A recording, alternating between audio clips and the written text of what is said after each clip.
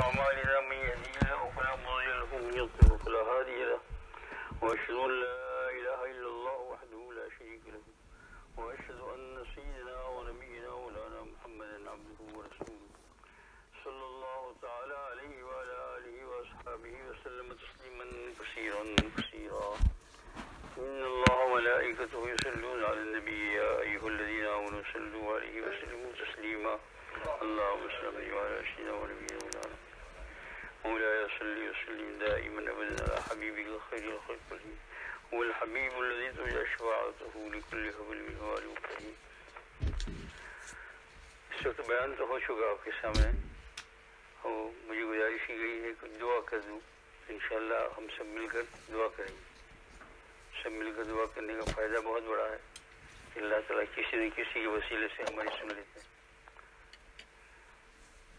لیکن بات یہ ہے کہ دعا کرتے وقت انسان اپنے آپ کو نہایت ذلیل سمجھے، بدترین سمجھے، کتے سے بدتر سمجھے اپنے آپ کو، نالائق۔ تو دعا قبول ہوگی۔ ذرا بھی دماغ میں جنون ہوگا، عبادت کا، کسی نفیل کا سراد تسبیح کا بزائی پڑھنے کا قصید بردہ پڑھنے کا، اور یہ اور یہ اتنے دودھ پڑھنے کا، جب تک یہ پھوسا ہوگا، دعا قبول ہوتی نہیں یاد رکھ لیجیے اس میں بہت بڑی بات ہے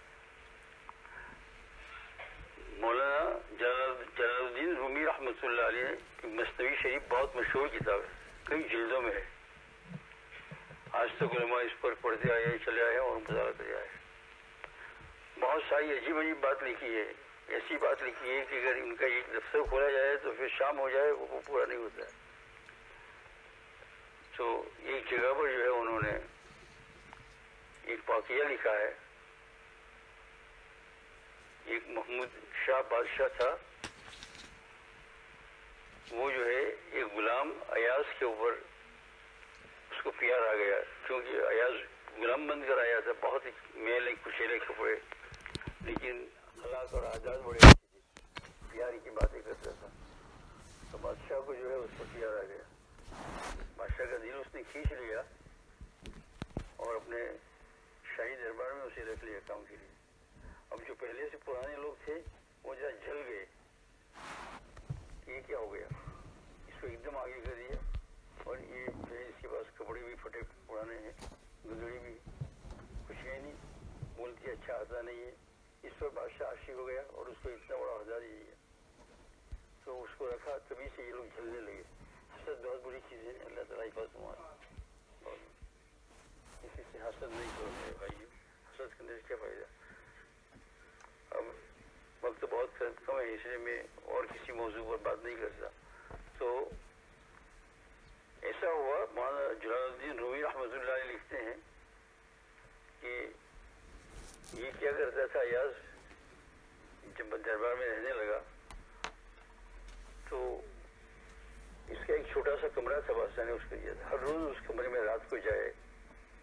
اور اندر سے بند کر دے اور پھر نکل آئے۔ ہر روز تو اس کے جو ہے پرانے وزراء تھے پرانے وزیر لوگ کام کرنے والوں سوچا کہ ہاں یہ کچھ گڑبڑ ہے۔ اس کے اندر اس کے پاس کچھ ہے۔ شاید یہ مال چورا کر چورا کر جمع کرتا ہے اندر۔ آدمی کے اوپر مختار بننا آسان ہو جاتا ہے، جب بزن ہو جاتا ہے۔ تو کا یہ موقع ہے، بادشاہ کو شکایت کرنے کا اور اور اس کی عزت ختم ہو جائے، اس کو نکال دے۔ تو انہوں نے سب بیٹھ کر مشورہ کیا، سوچا۔ اور سلطان محمود کے سامنے یہ درخواست پیش کی کہ یہ آدمی ایسا ہے۔ تو بادشاہ کے سامنے شکایت کی۔ تو بادشاہ کو ذرا بھی اس کی کوئی چوری کا یقین نہیں آیا، کیونکہ وہ اس پر عاشق تھا۔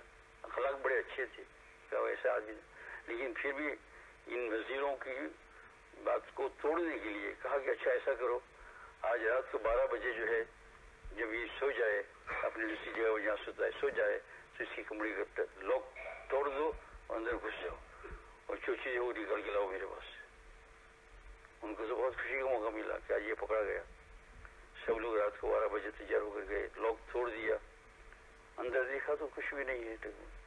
ایک پھٹی ہوئی پھٹا ہوا کرتا ہوا کرتا تھا، پھٹا ہوا، اور کچھ پھٹی ہوئی چیزیں مفلر تھا، ایسے جو گلے بنتے ہیں۔ وہ سامنے الماری پر رکھا ہوا تھا، اور کچھ نہیں۔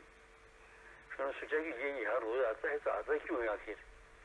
پھر کہا کہ شاید اندر کچھ گڑبڑ ہوئی زمین میں اس کو کھود ڈالا بہت سارا۔ کہیں کچھ ملا نہیں، کچھ نہیں ملا پھر وہ بادشاہ کے سامنے گئی بادشاہ کہ میں انتظار کرتا ہوں کیا لائے، کہا، کچھ نہیں ہے بادشاہ سلام تو بادشاہ نے اس ایاز کو بلایا کہ ایاز کو بلاؤ، جاؤ، اٹھا کے لاؤ۔ وہ تو اس کا عاشق تھا۔ اٹھا کے لایا اسے اس کہا کہ بھائی تو روزانہ رات کو جاتا ہے اس کمرے میں۔ سچ ہے؟ کہا جی جہاں بنا سچ بات ہے۔ کہا، کیوں جاتا ہے؟ اس کا جواب دو۔ کس لیے جاتے ہو؟ کس لیے جاتے ہو یہاں؟ اس کا جواب دو۔ تو انہوں نے کہا کہ بادشاہ بنا، آج آپ نے میرے کو بہت اچھا لباس دیا ہے۔ میں جب صبح پہن کر نکلتا ہوں تو لوگ میری طرف دیکھتے ہیں۔ میرے سر پر تاج ہوتا ہے۔ بدن پر پورا عطر سے رضا ہوا ہوتا ہوں۔ اور بہت عزت سے رکھا ہے آپ نے مجھ کو۔ اور ان سب میں سب سے زیادہ مرتبہ دیا ہے مجھ کو۔ تنخواہ بھی میری زیادہ ہے۔ اور مجھ پر جو ہے آپ بہت اعتماد کرتے ہیں۔ سلطنت کے بھاری بھاری گاؤں ہیں۔ یہ پورے دن میری عزت رہتی ہے۔ میں جدھر سے گزرتا ہوں، ذرا میں سے لوگوں کی نظر میری طرف ہوتی ہے۔ تو پھر میں کیا کرتا ہوں؟ شام کو اپنے کام سے فارغ ہو کر آدھی رات کو آ جاتا ہوں اپنے کمرے میں اور وہ پرانا کپڑا جو رکھا ہوا ہوتا ہے، وہ اپنے آپ کو بتاتا ہوں، کم وقت نالائق، دیکھ تو ایسا تھا۔ اس کپڑے والا تھا۔ اس کپڑے والا تھا، یہ پھوٹا پورا رستے میں، راستے میں تو جو ہے، رکھا، تو کوئی پوچھنے والا نہیں تھا۔ یہ اللہ اللہ جل شان و حکم سے بادشاہ محمود محمود نے تجھے عزت دی ہے، تو اس کو یاد رکھو اور قدر کرو اس کی۔ مولانا جلال الدین رومی رحمۃ اللہ علیہ مستوی شریف کے اندر جو بات لکھتے ہیں تو کوئی معمولی نہیں۔ انہوں نے اس واقعے کو لکھ کے پھر اشعار کے اندر بڑی اچھی بات کی کہ انسان جو ہے جوانی کی حالت کے اندر، خاص کر کے جوانی کی حالت میں کہ زندگی اسی کا نام ہے جوانی۔ جوانی کس کا نام ہے؟ زندگی پتہ چل رہا ہے اس زمانے کے اندر اس کا جو ہے فیش بھی بڑا اچھا ہوتا ہے۔ خدا نے کچھ دیا ہے تو مالدار بھی ہوتا ہے، یہ بھی ہوتا ہے، وہ ہوتا ہے۔ جیسا ہم کار چلاتے ہیں، یہ کرتے ہیں۔ مولانا ہے تو پڑھتے ہیں، جوڑ جوڑ سے واز کرتے ہیں۔ سب کچھ ہوتا ہے اس زمانے میں، ہے نا؟ لیکن اس زمانے کے اندر اگر خدا کو بھولا تو یہ سب کوئی چیز کام آنے والی نہیں ہے۔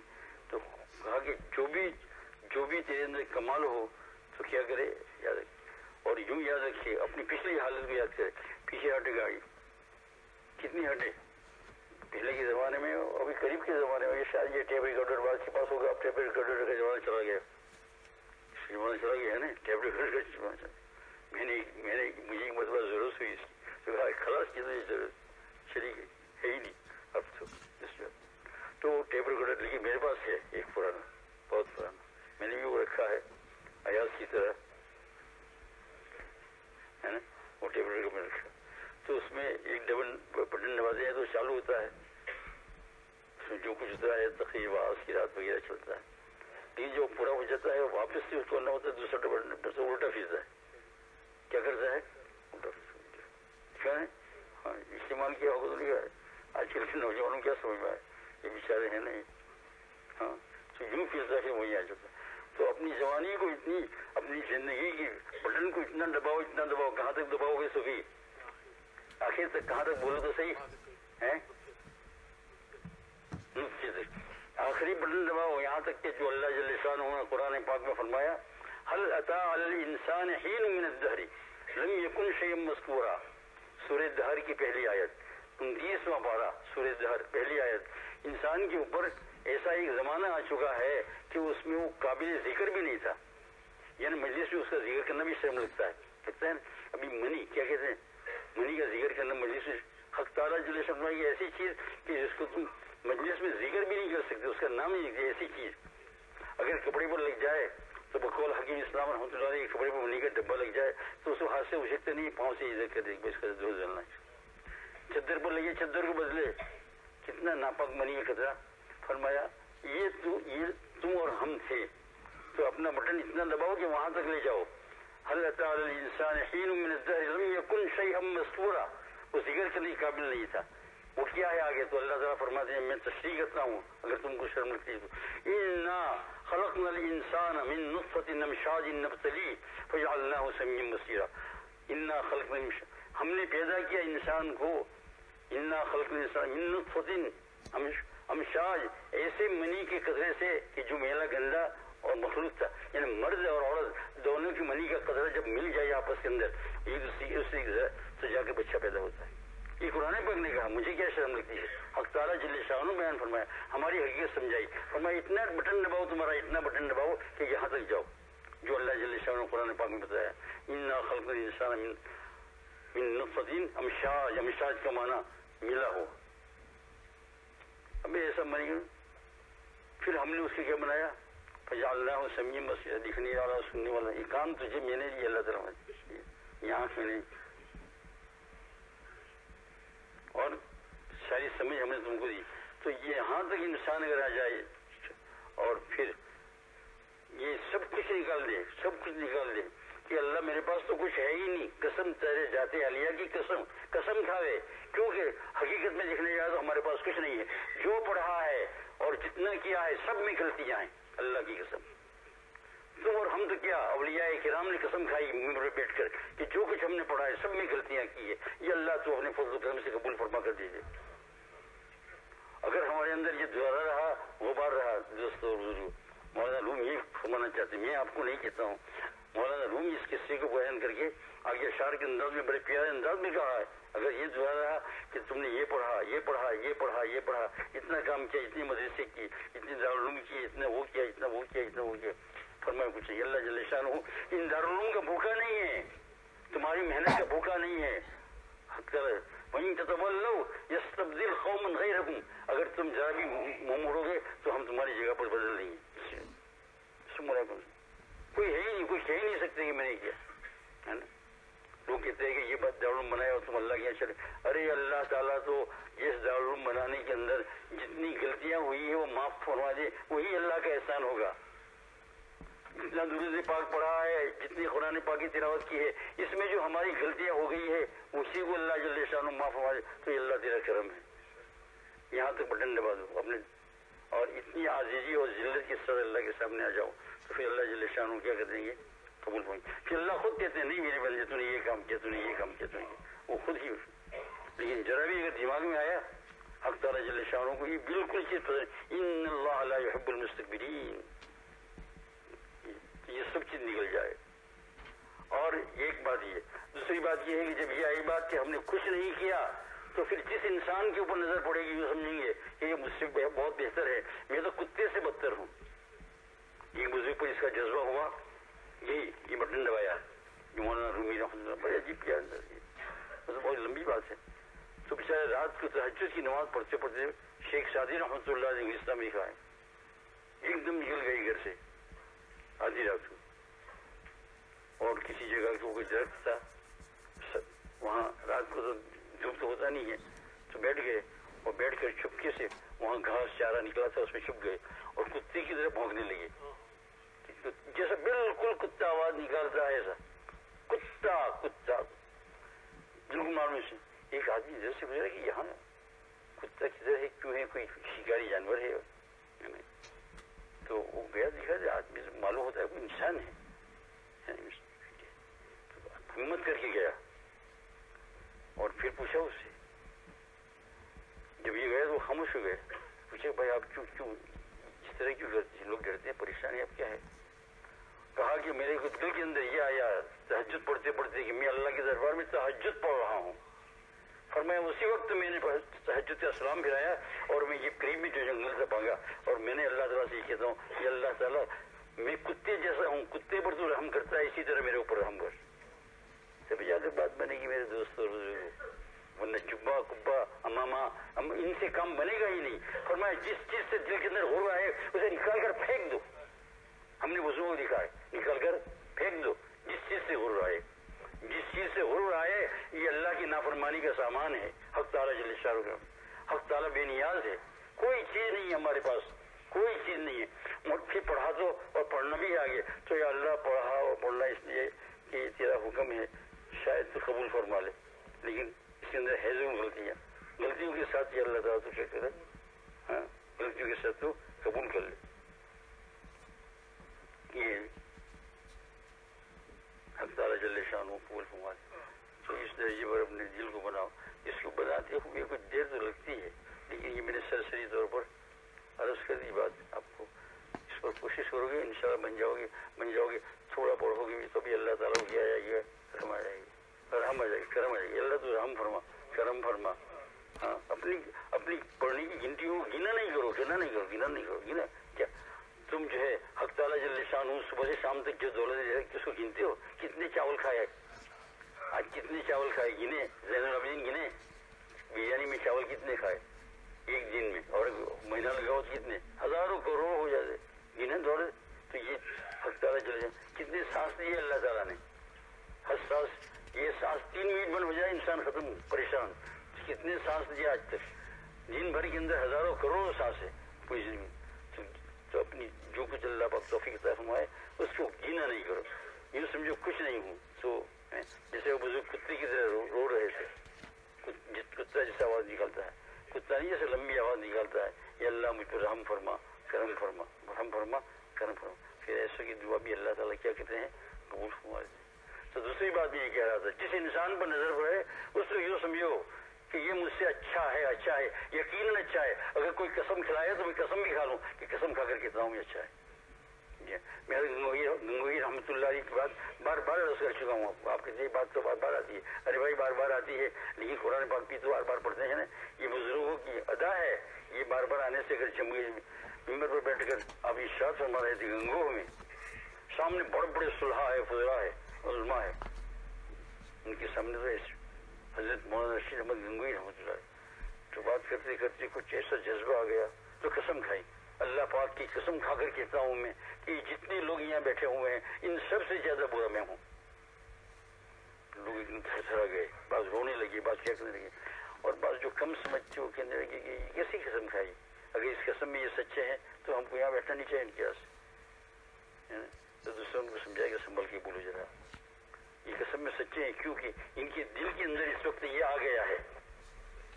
یہ اپنے قلبی قلبی خیالات کے اوپر یہ قسم کھا رہے ہیں کہ میں ایسا ہوں تو وہ گنگوئی بن دیکھا آپ نے، یہ بات میں بار بار تو میرے دوست اور بزرگ، اللہ جل شان ہوں یہ اللہ تو ایسا قلب عطا فرما مولا کریم، کہ جیسا کتنا اپنے آپ کو ذلیل سمجھتا ہے، ہم بھی اپنے آپ کو ذلیل سمجھے اپنی نیکیوں کو کچھ نہ سمجھے اور واقعی ایسا ہوتا ہے، جو زیادہ پپڑ کر زندگی کا کنارہ آئے گا تو دیکھ لینا دوستوں اور بزرگوں سارا پڑا ہوا ایسا لگتا ہے ایسا کچھ نہیں کیا۔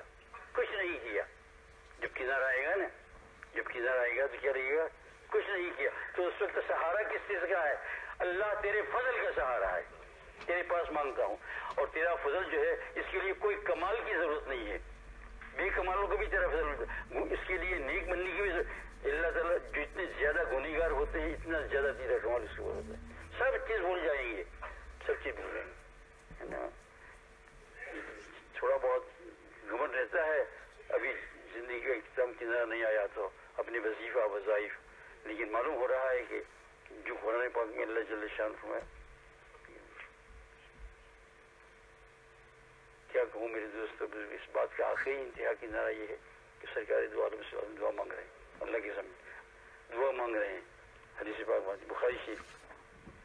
اور کہا یہ اللہ میرے اندر یہ مرض ہے، یہ مرض ہے، یہ مرض ہے یہ اللہ اس اس میں یہ روحانی مرض تکبر سے بچائے اللہ اس سے بچائے اللہ اس سے بچائے اور آخری جو لفظ ہے، وہ کل ذالک عندی۔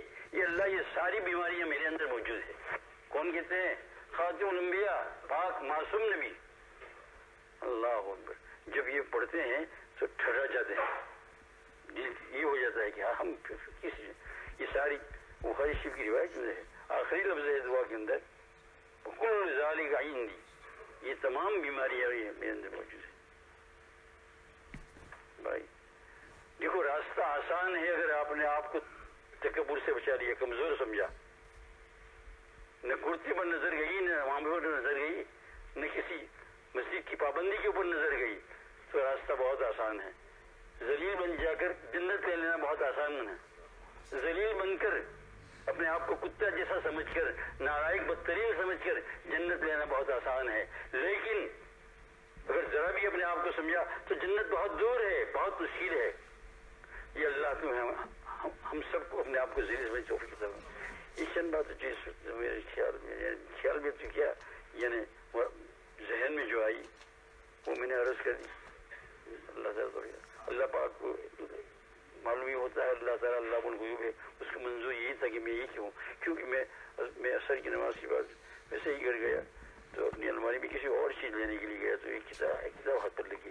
تو میں نے اس کو ہاتھ میں لے لیا۔ تو وہاں کچھ کچھ نشان رکھے تھے میں نے خود ہی رکھے تھے لیکن بھول گیا۔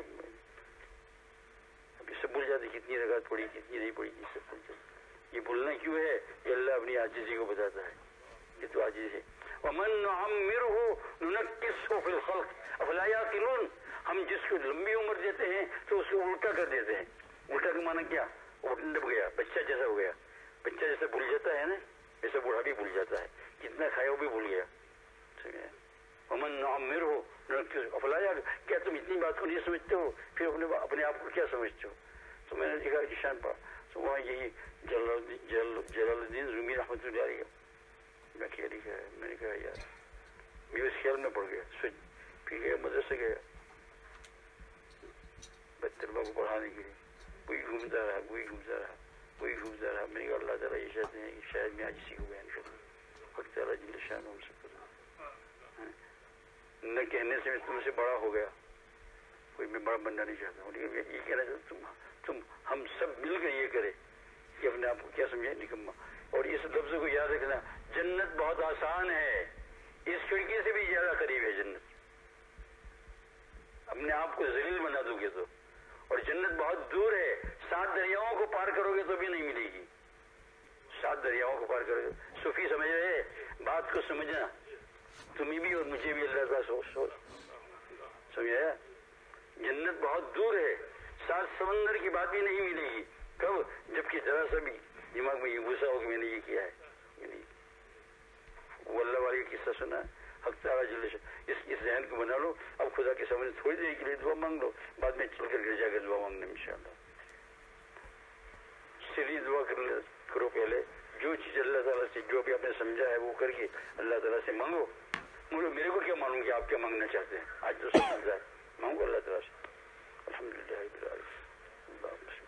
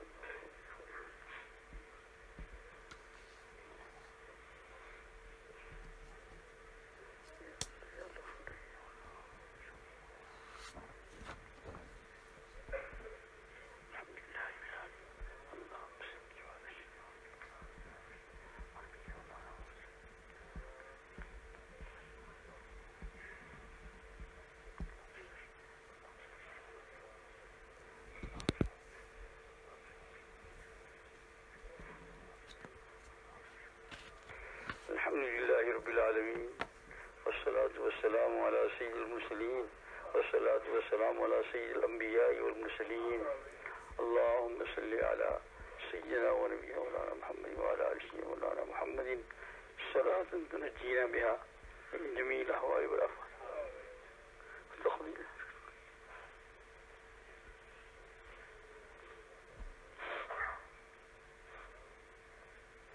وخيرنا بها من جميع السيئات وترفعنا بها وتردنا من القصر الحياة یا اللہ ہم اقرار کرتے ہیں مولا کریم کے بہت ہی نکمے ہیں نکمے ترین ہے ذلیل ترین ہے ہمارے پاس اللہ کوئی چیز نہیں ہے۔ اللہ ایک چیز ہے، ہمارے پاس وہ یہ ہے کہ آپ کے فضل و کرم کے اوپر اعتماد رکھتے ہیں۔ آپ کے فضل و کرم کا سہارا ہے۔ مولا کریم برکت والی رات ہے آپ کے فضل و کرم سے اللہ ہماری دعاؤں قبول فرما دے، ہمیں معاف فرما دے۔ ہمارا خاتمہ بالخیر فرمانا، یا اللہ فضل و کرم سے ہی ختم ہو فرمانا مولا کریم ذرا فضل و کرم ہو جائے تو سب کچھ مل جاتا ہے۔ اللہ گنہ گاروں کو مل جاتا ہے مولا کریم۔ اللہ گنہ گاروں کو بھی ذرا گنہ گاروں کو تیرا فضل و بہت جلد مل جاتا ہے۔ مولا کریم رحم الرحمین یا رحم الرحمین حضور صلی اللہ علیہ وسلم کی گردن مبارک پر چادر تھی، ایک عرابی گاؤں والے نے جوڑ سے کھینچی، نشان پڑ گیا۔ آپ ہنس رہے ہیں۔ کچھ نہیں کہا اس کو کیوں؟ کہ وہ جانتے ہیں کہ اس کے پاس کچھ ہے نہیں؟ وہ اپنے آپ کو کچھ سمجھتا نہیں ہے۔ مولا کریم، یا رحم الرحمین ہمیں معاف فرما دے۔ ہم نکمے ہیں۔ مولا کریم، ہمارے تمام گناہوں کو محض آپ کے فضل کرم سے معاف فرما دے۔ مولا کریم، تمام گناہوں کو معاف فرما دے۔ نیکیوں کو عطا فرما۔ ہمیں ہمارے گھر والوں کو، یا اللہ رشتے داروں کو، والدین کو، والدین جو انتقال کر چکے ہیں، قبر میں پہنچ چکے ہیں، مولا کریم، ان کی مغفرت فرما۔ مولا کریم کی مغفرت فرما۔ یہاں بیٹھنے والے سب کی مغفرت فرما، سب کی مغفرت فرما، سب کی مغفرت فرما۔ مولا کریم یا رحم الرحیم تیرے فضل و کرم کا یا اللہ، ایک ایک چھوٹا سا چھیٹا وغیرہ ساری کائنات پر پڑ جائے تو مولا کریم خوشحال ہو جاتی ہے۔ مولا کریم یہ ہماری چھوٹی سی مجلس ہے۔ یا اللہ، آپ کا فضل و کرم ہو جائے، ہماری سب کی بخشی ہو جاتی ہے مولا مولا کریم امال میں ہمارے پاس صفر ہے۔ کچھ نہیں ہے مولا کریم۔ نہ نماز ہم نے سیدھی پڑھی ہے، نہ روزے سیدھے رکھے ہیں مولا کریم۔ تلاوت میں ہمارا ہم نے جو ہے سیدھا کر کے کام کیا ہے مولا کریم۔ پڑھنا پڑھانا وغیرہ سب میں ہماری اللہ غلطیاں ہیں۔ کوتاہیاں ہیں کہاں تک یہ نہیں ہے مولا کریم؟ کچھ نہیں ہے بلکہ جتنی ہم نے نہیں کیا کہ یہ مولا کریم، وہ سب گناہوں جیسی ہے مولا کریم۔ تو معاف فرما معاف فرما مولا کریم۔ اور ہمیں اپنے فضل و کرم سے عطا فرما۔ اپنے فضل و کرم سے عطا فرما۔ یہ اللہ کچھ نہیں ہے لیکن پھر بھی آپ کے بندے ہیں مولا کریم۔ آپ کے ساتھ ہماری نسبت بندگی کی ہے مولا کریم۔ اس بندگی کی نسبت کو یاد جوڑتے ہوئے مولا کریم ہماری سب کی مغفرت فرما، سب کی مغفرت فرما، سب کی مغفرت فرما۔ مولا کریم موت تو ہر حال یقیناً ایک دن آنے والی ہے۔ کوئی بھی دنیا کے اندر آج تک رہا نہیں۔ یہ اللہ کوئی نہیں اور جی، اور زندگی کی طلب بھی اللہ سب کو رہتی ہے۔ تم نے خود فرمایا ہے یہ ود احدهم لو يعمر الف سنہ۔ اگر ہر ایک کو ہزار ہزار سال کی زندگی دے دی جائے، تب بھی وہ دوسری زندگی مانگے گا۔ مولا کریم یہ ہم بھی صبرے ہیں نالائق ہے مولا کریم، اپنے فضل و کرم سے مولا کریم، تو ہمیں عطا فرما، ہم ہمارے گناہوں کو، ہماری بدخصلتی کو نہ دیے۔ مولا کریم، آپ کا سہارا، آپ کی سخاوت بہت بڑی ہے۔ مولا کریم مولا کریم حضور صلی اللہ علیہ وسلم حکم دیا ہے کہ دعا کرتے وقت اگر تم کو تمہارے گناہ یاد جائے اور یوں شیطان میں سزا ڈالے کہ میں تو بہت بڑا گنہگار ہوں، میرا گناہ کیسے کرو تو یہ پڑھو اللہ مغفرت کا اللہ مغفرت کا اللہ مغفر اوسع اللہ مغفر اوسع من یہ اللہ تیری رحمت میرے گناہ سے بہت زیادہ بڑی ہے۔ مولا کریم، میرے گناہ بہت بڑے ہیں، لیکن تیری رحمت سے بڑھ کر نہیں ہو سکتے۔ مولا کریم، ہم ایسا کر کے تیرے اوپر فضل کر سہارا کریں۔ مولا کریم دعا قبول خفانی یا اللہ کریم، اگر آئندہ شعبات یا اللہ، اس کے درمیان میں جو فوت ہونے والے ہیں، جس کا آج نام لکھ لیا جائے گا۔ مولا کریم، اگر نام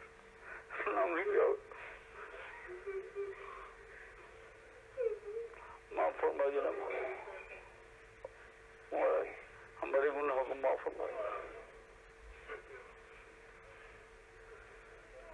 یا اللہ فرشتوں کو دفتر دے دیا جاتا ہے کہ آئندہ شب برات تک جو جو انتقال ہونے والے ہیں جو سب کے نام دے دیے جاتے ہیں یوں تو سب کا تقدیر کا معین پہلے سے ہو چکا ہے لیکن آئندہ شب مولا کی محمد الرحیم تو ہمیں معاف فرما دے ہم معاف فرما دے یا رحمین معاف فرما دے اسلام بڑھ گیا ہے مولا کے سب محمد اور مغفرت فرما ہماری دعاؤں کو رسول اکرم صلی اللہ علیہ وسلم اللہ تم تم تو نے ہمیں بہت ہی مشفق اور مہربان نبی دیا ہے مولا مشفق اور مہربان نبی دیا ہے مولا کریم ایسا نبی کسی امت کو ملا نہیں مولا کریم اس رسول صلی اللہ علیہ وسلم کا صدقہ طفیل آپ کے دربار میں پیش کرتے ہیں۔ ان کے طفیل میں تمہیں معاف فرما۔ اللہم انا نصرک بسینا محمد النبی صلی اللہ علیہ وسلم۔ اللہم انا نصرک بسینا محمد النبی صلی اللہ علیہ وسلم۔ اللہم انا نصرک بسینا محمد النبی صلی اللہ علیہ وسلم۔ یا اللہ، حضور صلی اللہ علیہ وسلم کے طفیل میں یا اللہ، ان کے طفیل آپ رد نہیں کرتے ہیں مولا کریم۔ ان کے طفیل میں معاف فرمائے ان کے ساتھ ہمیں عمر جیسے آپ کے ساتھ ہمیں بندے ہونے کا تعلق ہے، حضور کے ساتھ یہ اللہ ہمیں امتی ہونے کا تعلق ہے۔ یہ اللہ، تو اپنی رحم و کرم سے، شفقت سے ہماری دعاؤں قبول فرما۔ صلی اللہ تعالیٰ